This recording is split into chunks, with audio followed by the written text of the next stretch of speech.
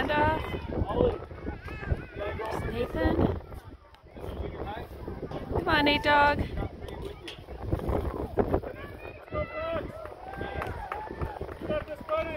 I'm holding it the most.